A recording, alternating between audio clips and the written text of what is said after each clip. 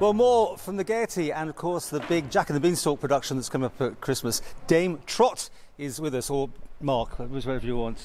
You can, you can call me whatever you want, love. Yeah, fine. I heard that. Let's start as Mark as you. Um, You obviously do this quite a lot, and you look quite at Yeah. home and doing this. Yeah, I've been doing it for oh, 20 years now, if maybe Really? longer. Yeah, yeah, yeah. So it's been a, a big part, of my, especially the last seven years, been a big part of my life. What makes a good Dame then? Um, now there's the question.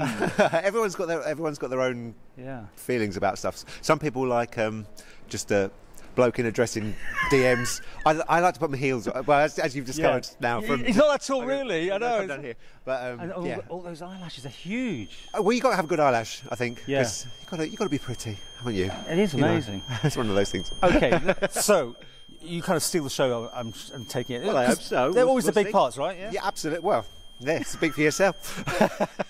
Um, can you give us an example of the sort of character you play?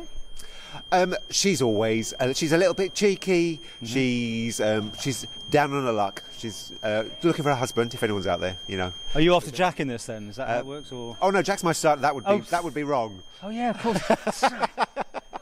I'm kind of a bit confused age-wise. and yeah. That's all right. So oh okay, mum and dad and- and son. on Mum and son. Yeah, yeah. So yeah, usually a, a fella in the audience if he's lucky.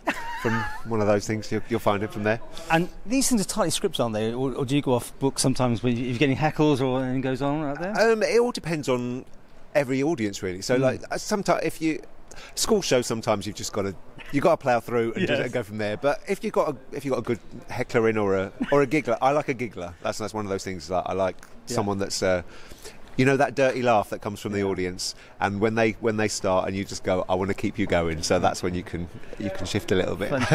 Okay, well, Jack and the Beanstalk is on at the Gaiety over Christmas. In fact, the dates I can give you Saturday the 18th to Friday the, the 31st of December. Can you just give us an example of you in character to finish with? I mean, to be honest, it's not that much different from what it is normally. You know what I mean? It's uh, you just got to lift the voice a bit, have a go at your little boy, tell him what to do. You know what it is.